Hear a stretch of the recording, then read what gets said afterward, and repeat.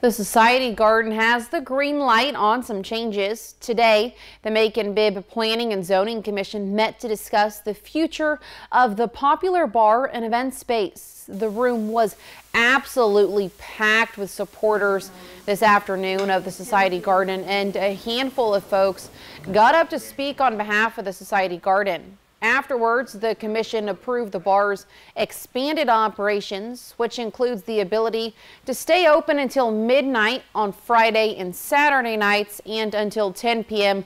on all other nights. Live entertainment must conclude by 10 o'clock on Friday and Saturday and then 9 p.m. on all other nights.